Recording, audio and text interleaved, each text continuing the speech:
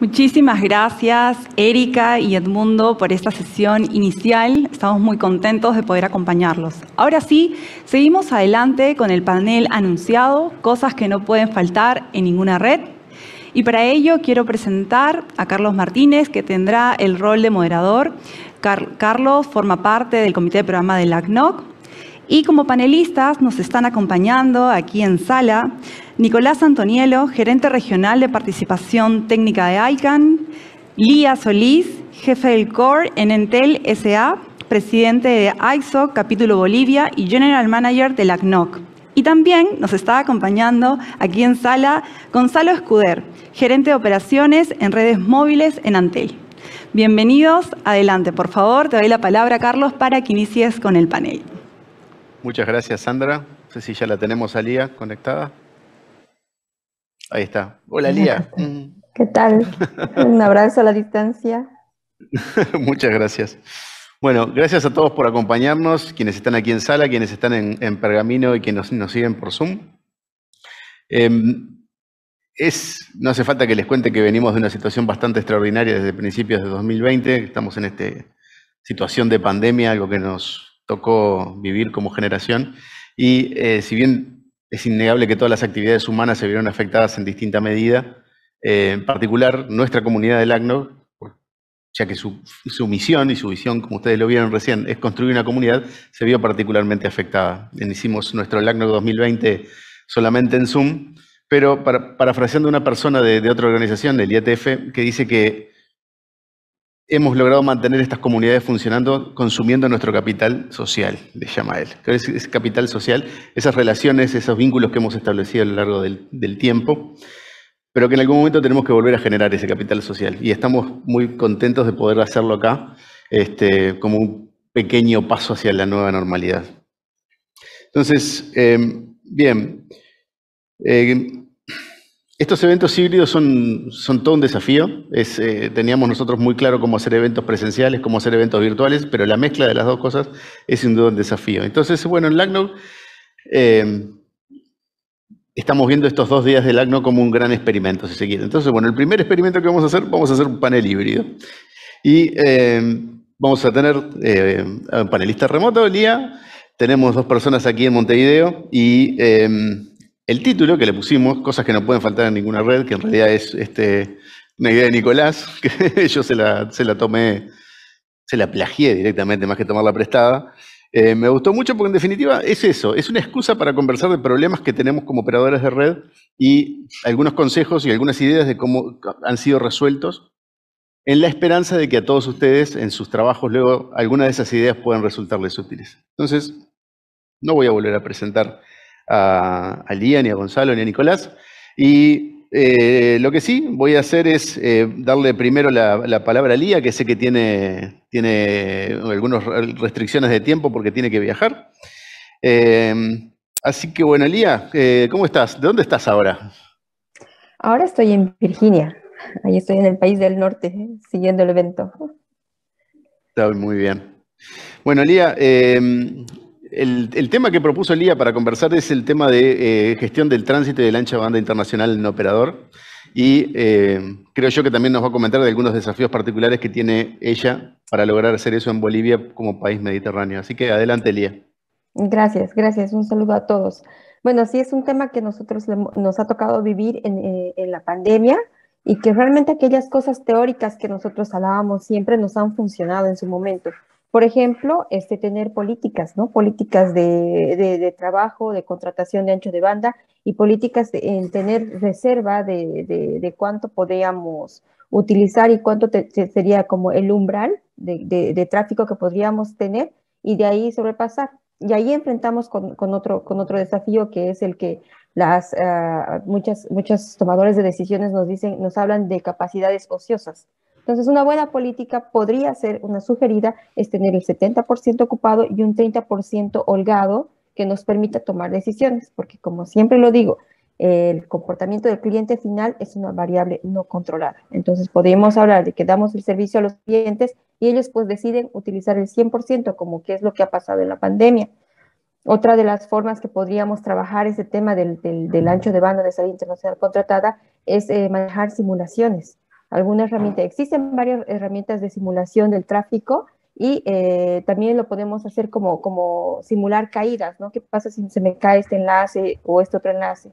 Otra cosa es, eh, otra, y ahí entra otro aspecto, que es el de contratar un solo proveedor o más de un, solo, más de un proveedor, porque tenemos que ver que las redes se tienen que mover en algún momento cuando alguno de los enlaces se, se, se, vaya, vaya colapsando, ¿no? Entonces, eh, esos son aspectos que debemos tomar en cuenta. Y, eh, y, también viene un poco asociado al tráfico local que tenemos, ¿no? Ya todos juegan un papel importante. Un punto de intercambio en el país juega un papel importante porque estaríamos garantizando mínimamente que el país, eh, que, que, haya conexión local. Y, eh, y tener enlaces redundantes, ¿no? Cuando nosotros contratamos, existe incluso un tema comercial ahí, que son enlaces redundantes o enlaces lineales.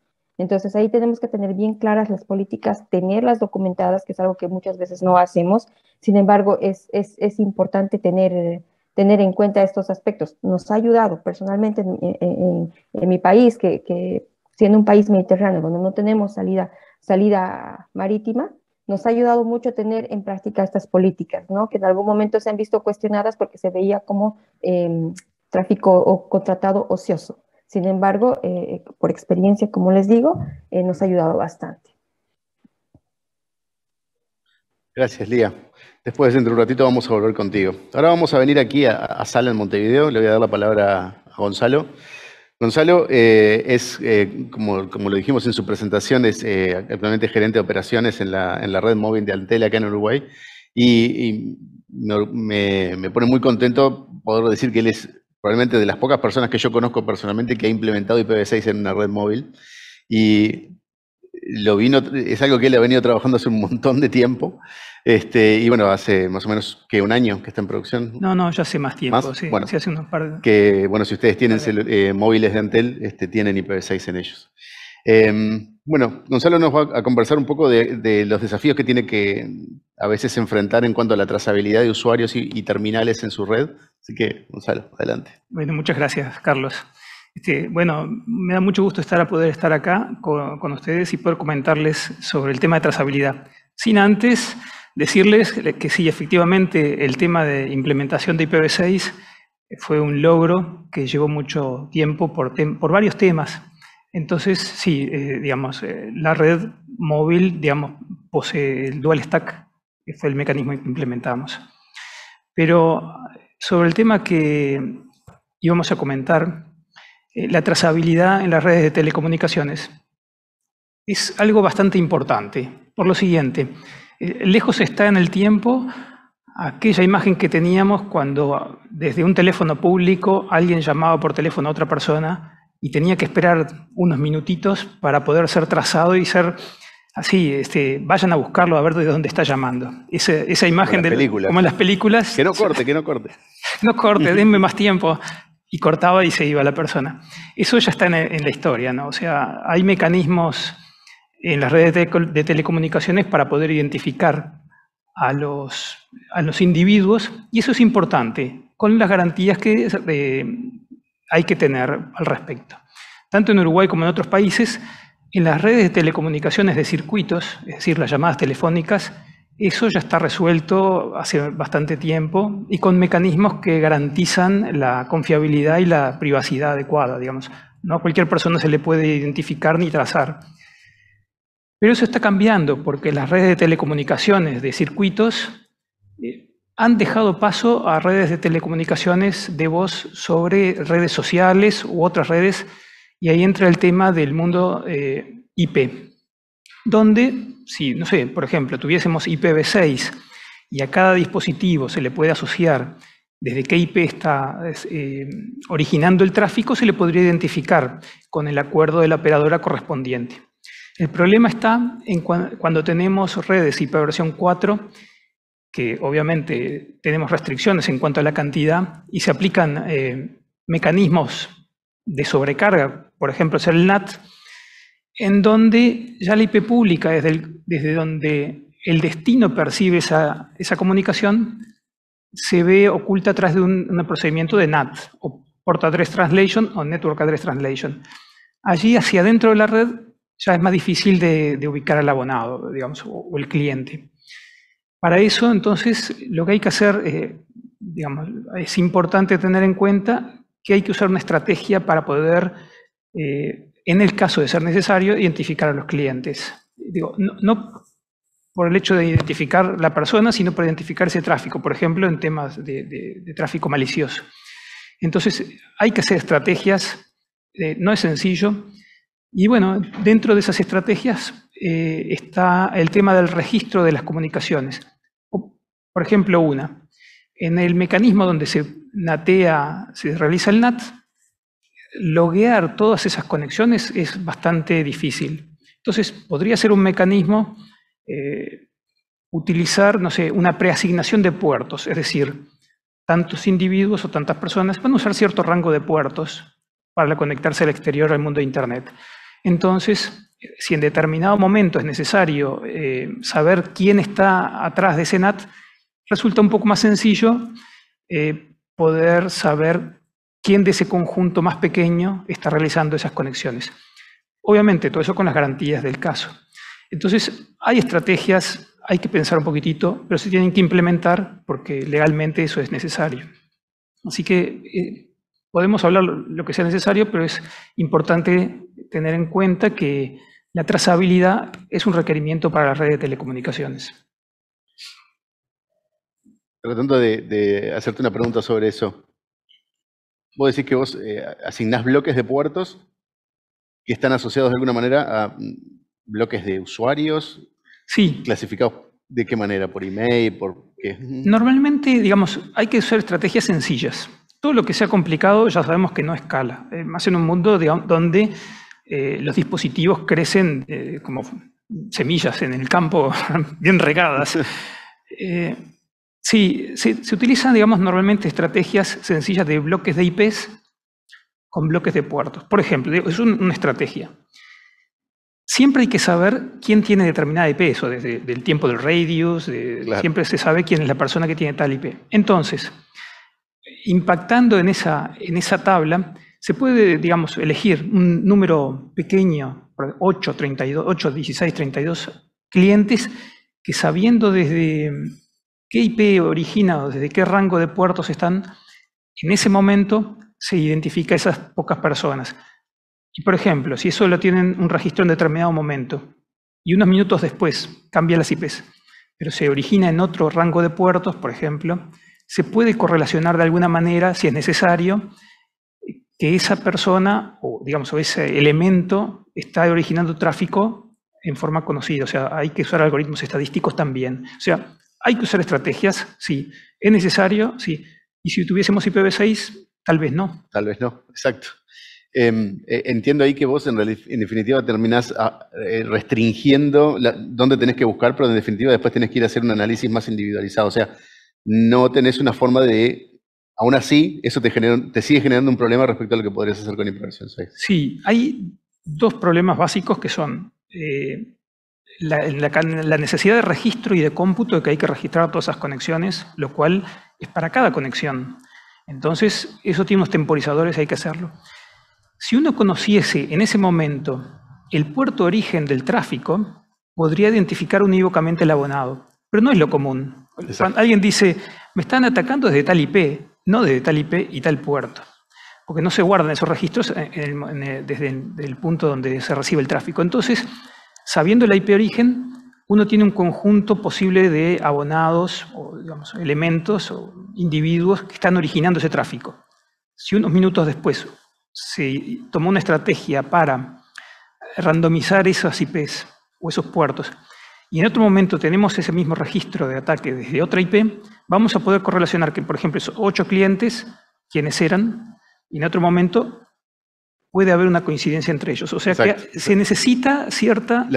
La, intersección, digamos, los dos conjuntos te, restringe. Está súper interesante. Es una forma, hay, que, hay que buscar la estrategia. Quería llevarte al tema del puerto de origen, porque es un ah. tema que en, eventos del ACNOC eh, lo hemos presentado... Le diría que de esa, de esa gráfica de barras que mostró Erika de varios trabajos del ACNIC, varios de esos sobre, son sobre el tema puertos de origen. Puertos de origen, antes era una información que nadie logueaba Eh, y de hecho sigue siendo algo que no es el, default de la configuración de casi ninguna aplicación de servicio. Entonces, amigos, vayan, configuren sus Apache, sus Nginx, sus eh, SendMails para que logueen puerto de origen. Porque en la Internet de hoy, con el IPv4 votado, el puerto de origen es un elemento fundamental para poder hacer mitigación de, abuso, básicamente. Bueno, gracias, Gonzalo. Eh, Nico, ¿cómo estás? ¿Cómo estás, Carlos? Hola, Gonzalo. Hola, Lía. Gracias por acompañarnos. Ahora vamos a cambiar un poco de tema, nos vamos a ir este, varias capas hacia arriba en el modelo de red este, y nos vamos a ir al DNS. Nico, DNS y otras yerbas. Ahí va. Eh, bueno, primero, gracias, este, eh, Carlos, y, gracias a, a, ACNO y LACNI por la, por la invitación a participar en el panel. Este, y bueno, bueno, buenos días, buenas tardes a, todos. Eh, estaba, pensando cuando hablaban, eh, cuando hablaba Gonza y, vos que, los dos hicieron así, ¿no? Para levantar el teléfono, digamos. Dentro de 10 años, si haces así para levantar el teléfono, no se nadie. Nadie va a entender de qué estás hablando, digamos, Exactamente. Este, y te cuento si hacemos así para dictar. Sí, sí, sí, sí. Y, bueno, y también estaba pensando que una de las cosas que no puede faltar en ninguna, en ninguna en ningún operador de redes una silla giratoria. Esto es fantástico. Absolutamente, absolutamente. Esto es fantástico. Yo estoy como niño chico, ¿no? Con la, con la cucaracha esta, que siempre quise hacer esto. Y bueno, bueno en, en mis cinco minutos de fama este, quería hablar de, eh, del DNS y algunas, algunas extensiones, algunos em, agregados o protocolos que, extienden el protocolo original DNS con algunas funcionalidades. Entonces, eh, para repasar rápidamente, eh, cuando hablamos de, o, ahora cuando voy a hablar de DNS, voy a hablar, voy a dividir, digamos, en, tres, en, tres, en tres partes el, el problema, digamos, tenemos por un lado el, cliente, sería el cliente que hace la consulta, quiero saber la dirección IP asociada a, un determinado nombre de dominio. Tenemos al servidor, eh, al resolver, eh, al servidor recursivo, como se lo llama normalmente, que es el que recibe la consulta del cliente y para que no lo tenga que buscar el cliente, se encarga él de buscar la respuesta y cuando la tiene, se la da al cliente. Si la tiene, se la da al cliente. Y después tenemos los servidores autoritativos, que son los que realmente tienen la información, esa asociación, dirección IP, nombre de dominio,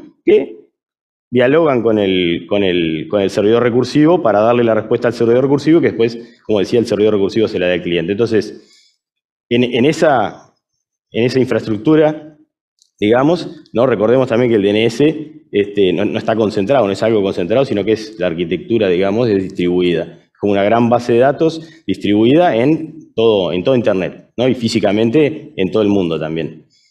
Y, recordemos también que esa base de datos tiene un aspecto de árbol invertido, digamos. Entonces, tenemos la raíz arriba del todo, ¿sí? dando vuelta el árbol, tenemos la raíz arriba del todo y después este, vienen todos los, los dominios hacia abajo. Entonces, cuanto más arriba estamos en la jerarquía, más importante es poder acceder a ese servicio, porque ese servicio es, más crítico, digamos, los autoritativos que están más arriba, porque concentran este, más, información, ¿no? Pero más de, si se quiere, más derivaciones, digamos. Son, se empiezan a achicar los puntos de falla hasta llegar a, la raíz. Entonces, tenemos que proveer este, mecanismos para que eso sea resiliente, tolerante a fallos, etc.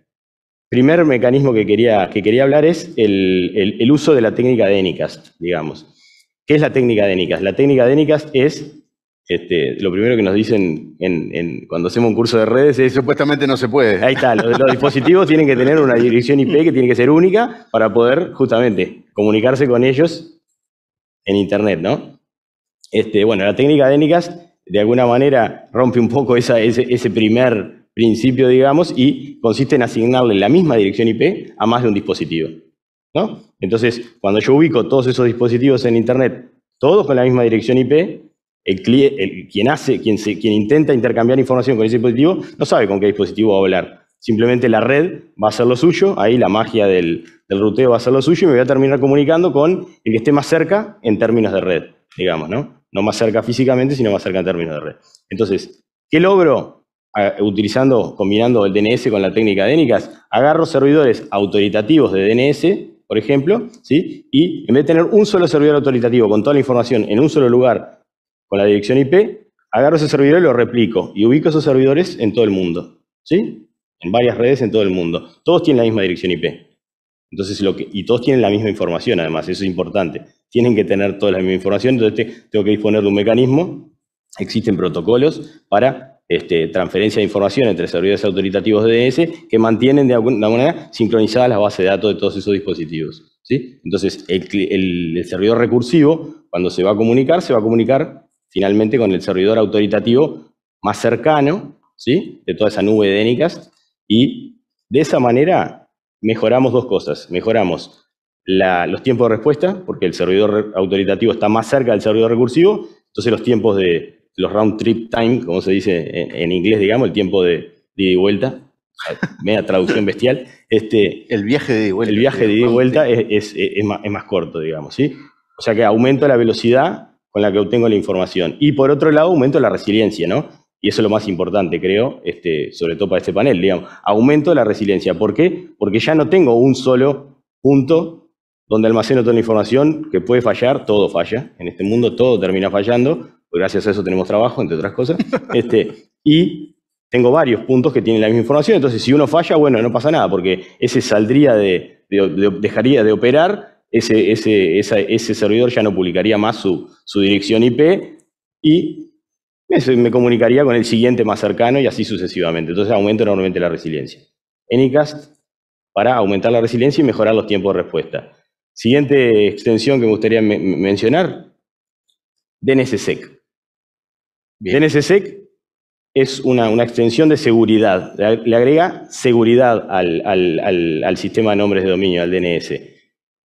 ¿En dónde actúa DNSSEC? DNSSEC actúa entre los recursivos y los autoritativos. ¿Cómo funciona DNSSEC? Bueno, eh, a nivel de autoritativo, quienes mantienen los servidores autoritativos deben firmar, firma electrónica, deben firmar electrónicamente todos los registros, todos sus recursos, toda la información que tienen almacenada, cada tipo de información que tiene almacenado un autoritativo, se firma. Y se almacena en el servidor autoritativo, además de, almacenar, como siempre, esa relación IP, nombre de dominio, también almaceno la firma y otras cositas que necesito para poder este, verificar esa firma. Del lado del servidor recursivo tengo que activar, quienes administran servidores recursivos, deben activar validación de NSSEC, o sea, deben activar el protocolo de NSSEC. La buena noticia es que casi todas, por no decir todas las versiones más nuevas de, de, los, de los diferentes tipos de servidor o, sabores de servidores que hay, bind, unbound, este, PowerDNS, todos los, los, servidores, los tipos de servidores recursivos ya traen DNSSEC habilitado por defecto. es decir, yo si no quiero DNSSEC y recién hago una instalación fresca, digamos, de, de eso, debería a propósito desactivarlo, digamos, cosa que no es recomendable, obviamente. Lo ideal sería dejarlo así, activado, del lado del recursivo validación, del lado del autoritativo los recursos firmados, y bueno, ahí este, el recursivo cuando recibe la información va a verificar esa firma. Si esa firma verifica, le da la respuesta al cliente. Si esa firma no verifica, le da un mensaje de error al cliente y no le da la respuesta para que el cliente no termine accediendo a un sitio este, falsificado o, este, o, alguien, o accediendo a información de alguien que se está haciendo pasar por, por, el autoritativo. ¿sí? Rápidamente mencionar algunas, algunas extensiones, algunos este, protocolos más. Hay un protocolo que se llama, eh, una técnica que se llama QName Minimization. Acá le voy a empezar a complicar un poco a los traductores, disculpen. Este, ¿Cómo sería la traducción de eso? No? estoy dando trabajo este, duro a los traductores. Sería algo así como minimizar el contenido de las consultas que hace el servidor recursivo el resolver a los servidores autoritativos. QNAME Minimization también actúa entre el servidor recursivo y el servidor autoritativo.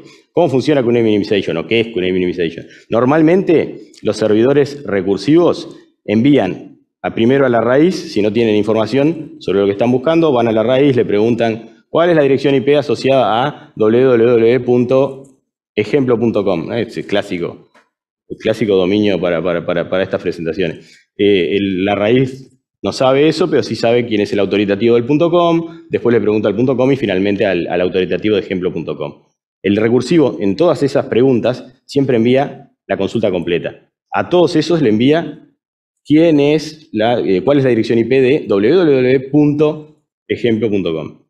Si yo tengo que un minimization activado a nivel de recursivo, lo que va a hacer el recursivo es, cuando le pregunta a la raíz, solo le pregunta, decime quién es el autoritativo del .com. Cuando va a preguntarle al .com, solo le pregunta, decime quién es el autoritativo de ejemplo.com. Y finalmente La consulta completa, el www.ejemplo.com, solo se lo pregunta al autoritativo de ejemplo.com. Entonces, ¿qué me agrega QA Minimization? Principalmente, privacidad. Es decir, yo, servidor autoritativo, soy el único que conoce la, la pregunta completa.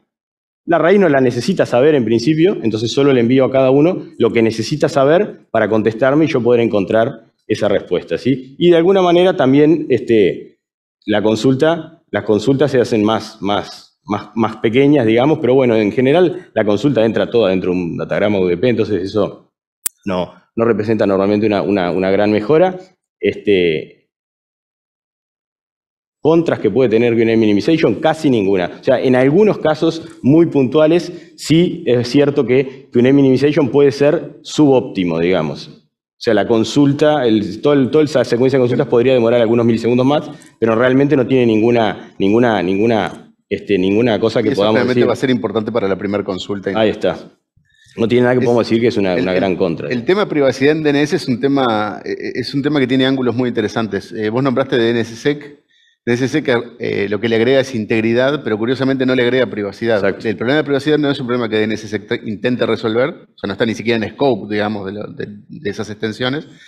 Eh, y para trabajar sobre la privacidad en DNS se, opera básicamente en dos aspectos. Uno es el no divulgar más de lo necesario, QA minimization, y el otro es el de cifrar el transporte, que las consultas sean privadas, pero ese incendio de pradera capaz que lo dejamos para si nos queda y hablamos algo de DOH. ¿Qué te parece? Ahí va. Sí, sí podemos mencionar. Eh, eh, a ver, quería mencionar eso entonces. Las técnicas hacia tener en cuenta si uno opera servidores DNS, ya sea del lado del recursivo como del lado del autoritativo. Normalmente los ISP, los proveedores de acceso a Internet, los puntos de intercambio de tráfico, etcétera, este, normalmente operan servidores este, recursivos para darle a sus clientes servidores recursivos.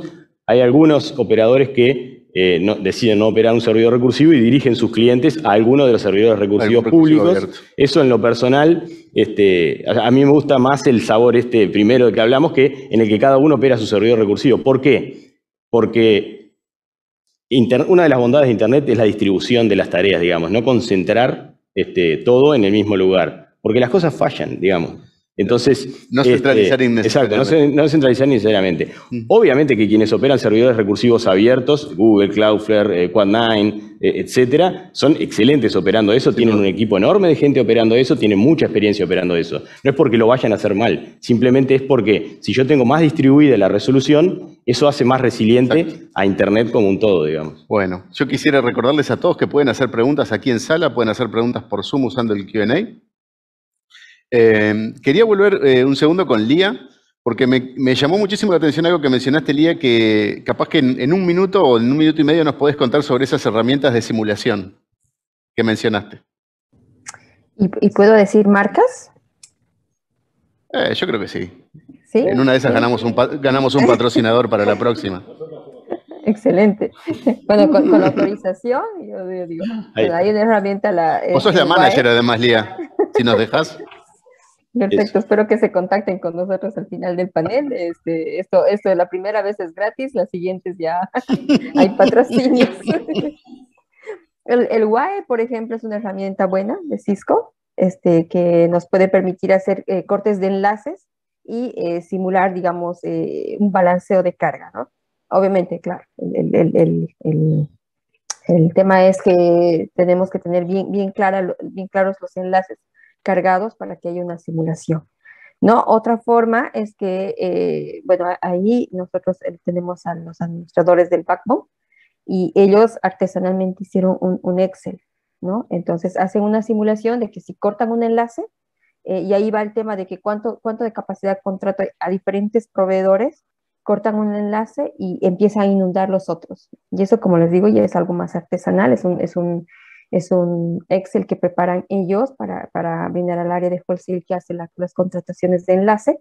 Y, es muy efectivo, es muy efectivo que la gente que hace estas contrataciones comerciales entienda y se sienta parte de, porque como les digo, es algo que se atraviesa el tema de decir que aquí tenemos tráfico ocioso que no se está utilizando, es difícil hacer, entender que en realidad es, es, es una, es, un, es un tema de precaución. Entonces, ahí, bueno, dos herramientas que se podrían utilizar. Y en las reuniones que tengan eh, las, las, personas de operación, es importante que lleven ese mensaje, ¿no? ¿Qué pasa si esto? ¿Qué pasa si esto? Si tenemos servidores cachés que nos están ayudando, más sumado el PIT, eh, el punto de intercambio de tráfico de su país, ¿qué pasa si esos dos caen? Entonces, alguien tiene que asumir esa carga, ¿no? O qué pasa si pasa, ah, si es al revés, ¿no? Tenemos una caída de salida internacional, este, alguien tiene que asumir esa carga. Y ahí va lo, como el mensaje que dio Nicolás, no todo meter a la misma bolsa, no todo centralizado. Gracias, Lía. Gonzalo, ya estamos llegando arrimándonos al final del tiempo que teníamos, pero IPv6 en LTE, vos sabés que es un tema que a mí eh, me, encanta, sobre todo porque no entiendo nada de móviles. Este, ¿Te a contarnos en un minuto cuáles fueron los principales problemas que tuviste que resolver?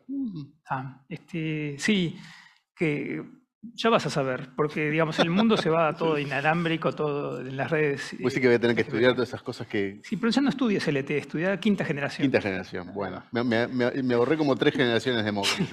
o sexta. O sexta, o sexta. Bien. Este, no, los principales problemas son eh, los que han sido siempre los problemas en las redes de telecomunicaciones para implementar los cambios.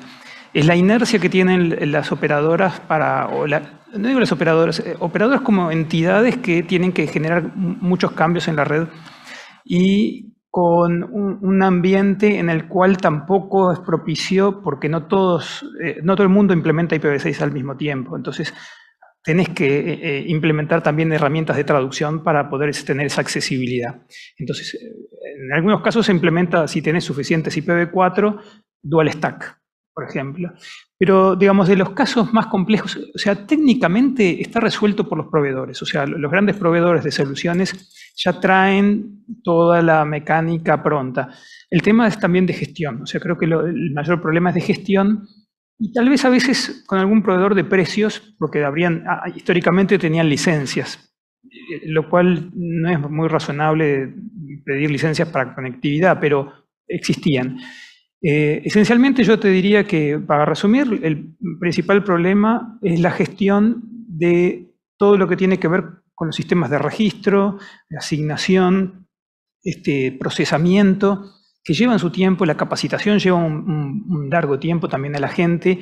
No es tan sencillo manejar rangos, digamos, de muchos bits, que antes que teníamos 32 bits, el de versión 4. O sea, hay, hay cosas que hay que trabajar, llevan su tiempo y es, creo que es el mayor, eh, eh, digamos, el mayor obstáculo. Pero tiene sus frutos, por ejemplo, eh, en la sencillez en el tráfico, bueno, las ventajas que tiene la aplicación de ipv 6 en, las redes. Solo un detalle más. LTE es una tecnología que solo da comunicaciones IP. Mm. O sea que necesitas IP, sin duda. la mejor opción es tener una IP versión 6 porque es lo que tiene transparencia. Genial. Este, es, interesante que menciones el tema de, los sistemas de soporte de gestión porque no sé si recordarán que nos, nos, acompañaron en el evento en mayo también que tuvimos una presentación de un estudio que hizo el ACNIC en la cual, eh, en, entrevistas con operadores de la región, a diferencia de un estudio anterior en el cual se mencionaba que el principal problema de los dispositivos, el que se mencionó como principal problema en el estudio este fue eh, la adecuación de los sistemas de soporte de gestión, que es, este, es, un mundo, es un mundo vasto, es un mundo donde hay mucho software diseñado a medida, eh, desarrollado específicamente para la problemática y los modelos de operación de cada operadora, y bueno, aparentemente ahí está hay un cierto consenso aparentemente que ahí está la nueva frontera, el nuevo desafío en, el despliegue de versión 6.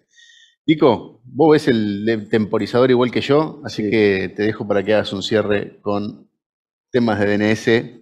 ¿Incendiamos la pradera o no incendiamos la pradera? Ah, antes de hacer un comentario rápido, porque es decir, hablaste un montón de cosas, pero no dijiste cómo implementarla, digamos. Entonces, rápidamente, para, para, para, para, la primera que dijimos de ENICAS, digamos, los, si, si, yo opero servidores recursivos, opero servidores autoritativos, puedo implementar la técnica de ENICAS. Lo de ENICAS es aplicable a nivel de servidores recursivos, a nivel de servidores autoritativos.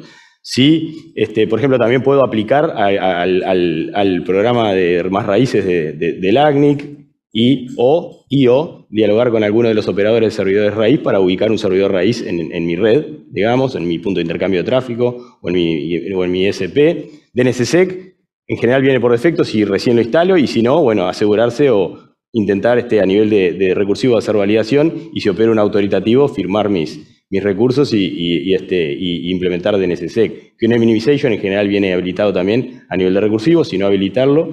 Después están estas otras, estos otros sabores que aportan privacidad, que son básicamente este, canales encriptados entre, entre, de comunicación entre el cliente y el servidor este, recursivo, como pueden ser DOT o DOH. Eh, a mí me gusta más DNS sobre TLS porque es, más transparente, es a nivel de, es entre digamos el sistema operativo del cliente y el recursivo y después es transparente para todas las aplicaciones.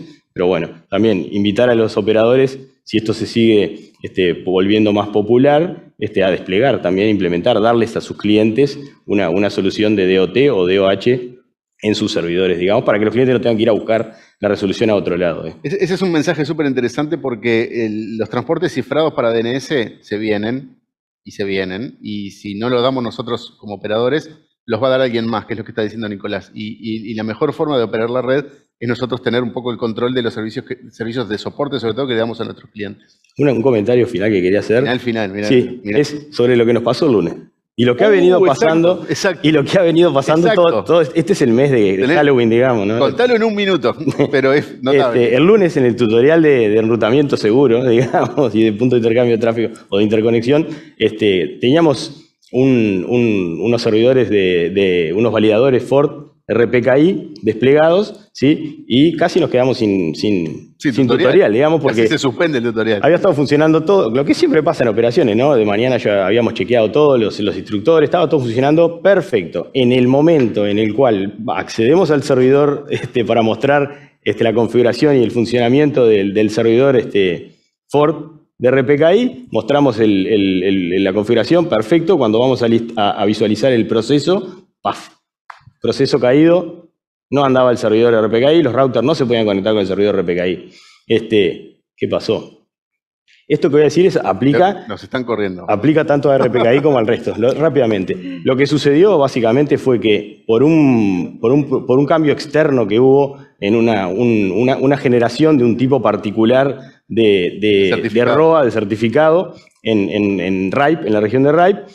El validador Ford no lo manejó bien eso, es algo nuevo, es algo que está todavía en, testing, que no hay implementaciones este, todavía en producción. El validador Ford no lo manejó bien y se cayó. No se cayó solo el validador Ford nuestro, en realidad se cayeron todos los validadores Ford que están operando en todos los puntos de intercambio de tráfico porque no interpretaron bien eso, digamos. Entonces, ¿cuál es la, la, moraleja de todo esto y el aprendizaje? Es y esto aplica a DNS, a, validadores Ford, a casi cualquier cosa. Es decir, yo puedo aumentar la resiliencia teniendo varias copias usando énicas del mismo servidor. Bueno, lo mejor si yo quiero ir un, escalón más arriba es no instalar siempre el mismo software en todo, sino tener tipos distintos de software. Por ejemplo, instalar un validador RPKI Ford y uno este, Routinator o cualquier otro. En el caso de DNS tengo uso bind en algunas de mis granjas de Enicas, uso unbound en otras, o combino en la misma granja bind, unbound, sí, para aumentar justamente, si hay un problema de seguridad en uno.